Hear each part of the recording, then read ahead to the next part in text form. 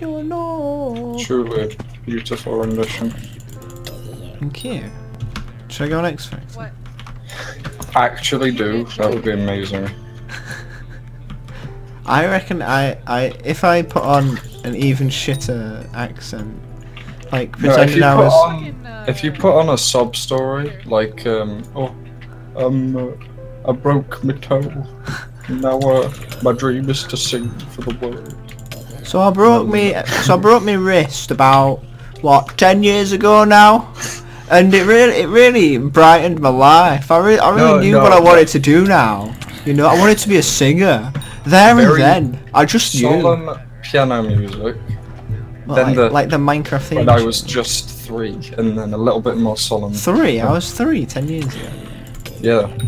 Dude, sure? you're like lying about your age. What? So I got a tattoo, yeah, and it hurt. And during that moment, I knew what life meant. Life meant giving happiness to other people. I knew then I should be a singer. I knew that they'd want to hear my voice.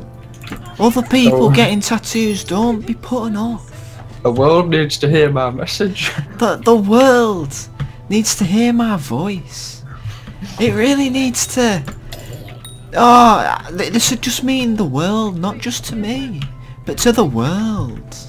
Mm.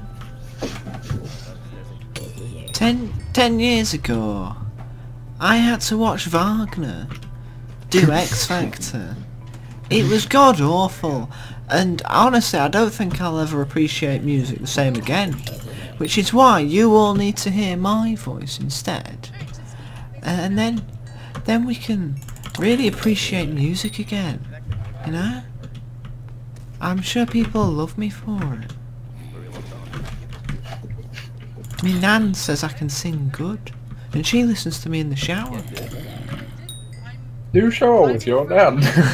It switched me. Sometimes, but only so. I can brighten up her day with my singing. they say that a lot. My, my nan, my nan died four oh, years There ago. Hey, I could go on. All of my family died before I was born.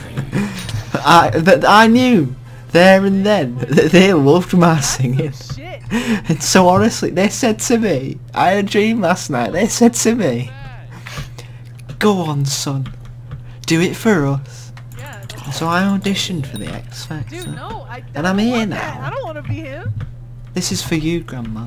Why When I slipped out womb, I sung a perfect rendition of Johnny Cash. they was there and then. I knew. My grandma, she died four years ago in the shower. I was singing to her, and I got carried away and pushed her over. She broke her neck and died.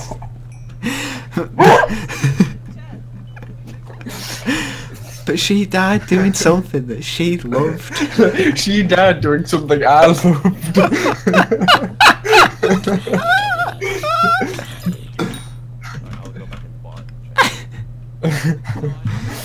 But she died doing something that I loved. And I know that she'll be up there now. yeah, that. Yeah, yeah, yeah. Damn, if you can hear me now. She, she'd say oh. to me, lad, you Why'd you push me over?